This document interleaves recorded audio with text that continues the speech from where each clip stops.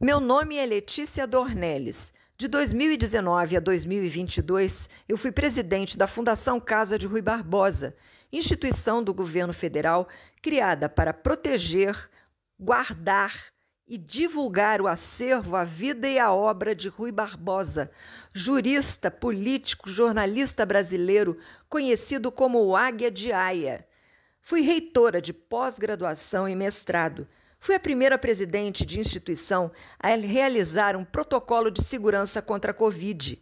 Em fevereiro de 2020, criei um gabinete de crise. Em março, coloquei os servidores públicos em home office, mas continuei trabalhando presencialmente para garantir a segurança e o bom funcionamento da fundação.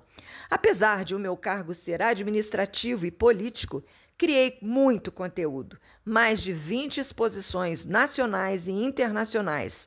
Fui destaque no jornal francês Le Monde e no inglês The Guardian.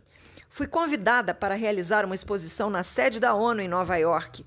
Discursei em inglês para 200 diplomatas estrangeiros na presidência do Brasil do Conselho de Segurança da ONU.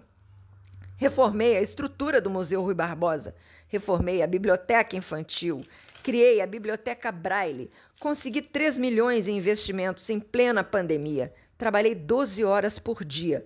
Sou escritora, autora de novelas, séries, livros, gestora pública. Sou mãe do Patrick, de 14 anos. Sou cristã, direita, conservadora. Minhas pautas de trabalho são educação, inclusão social, crianças e adultos com necessidades especiais, meio ambiente.